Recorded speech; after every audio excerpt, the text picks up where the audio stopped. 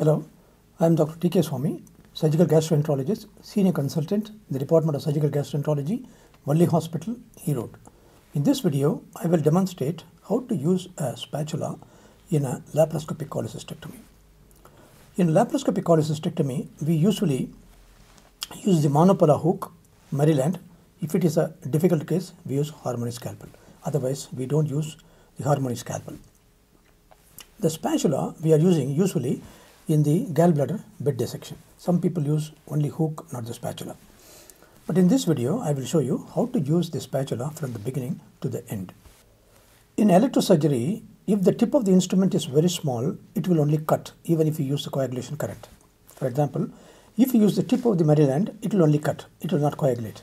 If you use the body of the instrument, that is the beak of the instrument or the back of the Maryland, it will coagulate because the surface area is more. The hook has got a smaller surface area. Even if you want to coagulate, it will only cut because the surface area is very small. Whereas the spatula has got a wider surface area, it coagulates in a better way than a hook. Another important point you have to remember is when you are using a hook, if there is a little bit of bleeding, what you do, you turn the hook and use the knuckle to coagulate. If it is not getting coagulated, what you do, you just remove the hook and then get inside the Maryland or a bipolar. So you need to exchange the instrument. But when you are using a spatula, this exchange of instrument is not necessary most of the time. Suppose if there is a bigger bleeding, yes, you have to use bipolar, no other go. Because the um, spatula also will not control a bigger bleeding. But this is better, definitely better than a hook whenever there is a little bit of bleeding. In total mesorectal excision, initially we were using the hook for dissection. Of late, we started using spatula for a dissection and we feel it, we do it in a better way. We can do it a little faster than we were using hook. That's why we started using the same um, principle in lap cholecystectomy also and we found that it is very useful and it might be useful to you also. This patient is a 58 year old female. She is a known diabetic, hypertensive and ischemic heart disease patient. She was on antiplatelet agent. She developed acute cholecystitis one month ago and she was treated conservatively. Now again this is the second episode we are planning laparoscopic cholecystectomy. Routinely we use four ports, two 10 mm and two 5 mm. Periumbilical and the subxiphoid will be the 10 mm and the other two will be 5 mm. Let us get into the video and see. The laparoscopic cholecystectomy is usually done in three major steps. Number one is adhesiolysis, Number two is the Calot's triangle dissection. Three is the gallbladder bed dissection. Among this, the most important is the Calot's triangle dissection because majority of the complications they occur only in the Calot's triangle dissection. That doesn't mean adhesiolysis and gallbladder bed dissection are not important. They are also important. We have uploaded a separate video for adhesiolysis in laparoscopic cholecystectomy. I have given the link below. You can have a look if you are interested. First we will see the adhesiolysis. In adhesiolysis, the most important is you must find out the cleavage between the two tissues, that's the liver on the fat and the gallbladder on the fat. You should not go either into the gallbladder or into the liver. You can see if there I am going in the wrong plane, you have to come one layer above. This type of coagulation is better done with a spatula. This patient was on antiplatelet agents, so I want to be little on the coagulation mode. I kept the wattage at 30. Usually we keep at 20 or 25 only. Now I have come closer to the gallbladder. You must find out where is the white line. The white line is a cleavage between the two tissues, namely gallbladder and the fat. Once you find out the cleavage, you can start dissecting in that line. Now the gallbladder is fully visible, so it can be retracted. It is retracted towards the right shoulder of the patient. Now, the traction and the counter traction is important. The traction must be applied very close to the point of dissection. You should not leave too much of fat on the gallbladder. If you are leaving too much, then you are cutting more vessels in the fat. If you have the right cleavage, you will have less vessels and the bleeding will not be there. So first you must find out where is the cleavage. Once you find out, you can keep cutting. See the window is seen clearly, you can cut through. Again you hold closer to the area of dissection. See I am almost in the white line. That is the cleavage. Still the Hartmann's pouch is not seen. You have to go still lower down. The gallbladder retraction is not adequate, so the grasping forceps has to be migrated lower down. This one single step will bring the Hartmann's in front of the eyes. You see, the Hartmann's is seen very clearly. Now you can dissect. You yourself should not retract with your left hand and operate. Both your hands must be free. Only the assistant must retract the gallbladder. See, I am using the tip of the spatula like a hook. If you use the tip of the spatula, it will only cut. For cutting, you need to keep the tissue under tension. See, I am using the spatula like a finger.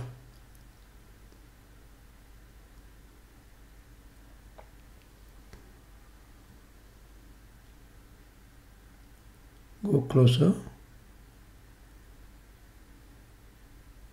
If the tension is not adequate, you have to migrate again your left hand towards the area of dissection. See, the tension is not adequate. Again, go closer. Then keep the tissue under tension. Then it cuts easily. For coagulation, it is not necessary. Tension is not necessary. But for cutting, it's very important. If the tension is not adequate, go closer. Now the Hartmann's is well seen. That completes the adhesiolysis.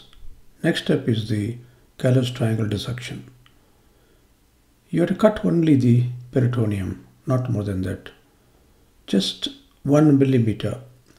Go again posteriorly, cut only the peritoneum, nothing else. Go underneath the peritoneum, then push. You should not push too much. You should not pus pointing. That you should not do. I just will demonstrate. That is pus pointing. Going beyond your control. That should not happen anywhere. You must have a good control of the instrument. This is very, very important, especially when you do anterior dissection. Now here, I am cutting only the peritoneum. By doing this, this will widen the hepatocystic triangle. This is the first step in the Calot's triangle dissection. Just only the peritoneum. Now take the Maryland. Maryland is the best instrument to dissect in between the cystic duct and the artery because you can take tissues in small increments and then coagulate. Dissect in between very easily. Take all the fibrofatty tissue. In between the duct and the artery, you will get a vessel called a H vessel. That is the commonest vessel which gets injured. If it gets injured, you will be forced to coagulate the cystic artery before getting the critical view of safety. Now there is a cleavage. You should not keep pushing behind. You should not do that. Come behind, then take away all the fibrofatty tissue, coagulate, take away small increments. Bit by bit, you have to coagulate and then take. Now we go anteriorly, you'll be able to come, you'll be able to create the window clearly. Now you have to lengthen both cystic duct and the artery. That's very important. Now I have taken the spatula again. I want to dissect the cystic plate to create the critical view of safety. You need to develop two spaces, one above the artery and one below the artery, and two structures there is a cystic artery and the cystic duct. Two spaces and two structures, you must remember. Now you have, there is a big node sitting on the cystic artery. You have to dissect, otherwise, if you apply the clip, the clip might get loosened. You have to dissect the node from lateral to medial, not from medial to lateral. Now, now I am keeping the spatula with the concavity downwards. Now it will be easy to dissect it if you keep the concavity downwards. Move it down, you can see another vessel coming from the cystic artery to the cystic duct. You should not divide this with the hook or a spatula. That might bleed. The best instrument for that is the Maryland. Just I want to show the critical view of safety but still the gallbladder has to be dissected up. One third of the gallbladder it's better if you dissect before ligating. There's a little bit of fibrous tissue around the cystic duct. We have to fill it. We have to take away all the fat, all fibrous tissue. Leave only the duct. You can see the duct clearly. Little bit of fibrous tissue. Now you take that vessel, small vessel, coagulate it, it will get snapped. Still, there is little bit of fibrofatty tissue that can also be removed. For this, the best instrument is the Maryland. Now, the length is adequate and you can clip them.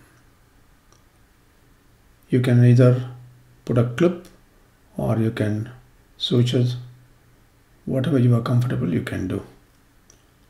Just for demonstration I am putting clips only. Use two clips on the patient side and one clip on the specimen side.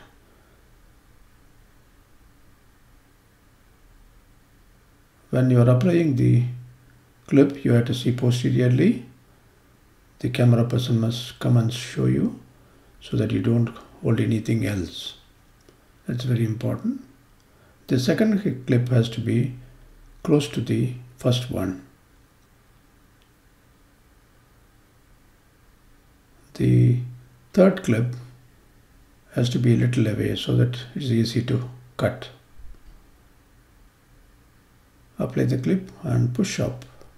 Come little above and then apply so that there is little gap.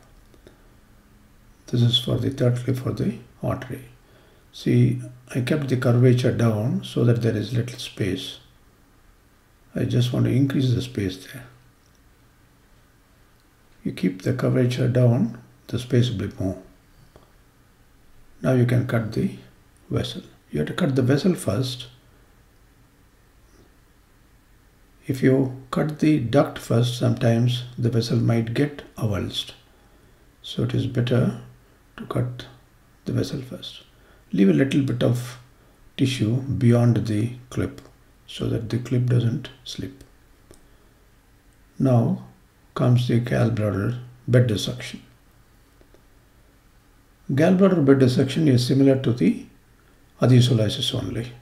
You have got only two tissues that is the gallbladder and the liver. Here again you have to find out the cleavage that is the white line between the two tissues. Once you find the cleavage, then you keep on developing that cleavage. You should not get into the liver, you should not get into the gallbladder. See, that is the cleavage. Keep developing that cleavage. Hold the gallbladder close to the area of dissection again. Then you can keep the tissue under tension. Now you see the tissue is tensed up and use the tip of the instrument now. Here the majority of the work is done by the left hand. It is keeping the tissues under tension. Even if there is a little bleeding, coagulate it. Don't allow the blood or bile to trickle down. Now you see the tissue is not under tension there. You see, I feel it a little difficult. I am moving with the right hand because the tension is not there. See, I am getting into the liver. You have to go one layer up. That is the right cleavage. See with the tension how the dissection is easy. In gallbladder bed dissection, the left hand does most of the job. Only last fringe of tissue. You should not be in a hurry to pull it out. If you pull, it will tear the Glisson's capsule. Use the tip of the spatula to divide. That's the last bit of tissue. See before dividing whether there is any structure behind and then divide. That completes the see the liver bed whether there is any bleeding or not. Suck all the fluid. We usually take the gallbladder out with a specimen bag. This is an ordinary polythene bag. Take inside the bag. We usually divide and suck out all the bile. The most important is the assistant holding the lower edge of the bag. Otherwise, the bile might drop down into the peritoneal cavity. Suck out all the fluid so that the removal is easier. If the gallbladder is very thick, you can cut and take it. Hold the bag, both the ends, leave the tissues. You have to hold nicely. You have to hold the bag nicely. Come and hold it. Otherwise, it will get torn. Then pull it into the tenement and you have to remove the stones before pulling it. Use the ovum forceps or uh, sponge holding. Then you can remove the back. We routinely close all the 10 mm ports with port closure needle. We use number 1 ethilon. We usually we remove the trocar. Generally you will be able to put a wider stitch. So catch hold of the thread and then pull it out. Just tight, you don't tighten it too much. This is the periumbilical port. Pull out the trocar then push the needle, pull it back, you will get the loop. Push and pull back, you get the loop. Easy to hold. Take wider bites. You have to be careful because the needle is very sharp. We are not going to use any drain for this patient because the dissection was very clean. So that completes the surgery. Thanks for watching this video. It is not necessary that you should use only one instrument from the beginning to the end. Every instrument has got its own advantages and disadvantages. If you are comfortable with hook, no harm in using it. Ultimately, doing the surgery safely is more important. For that, selection of the right instrument at the right time is mandatory.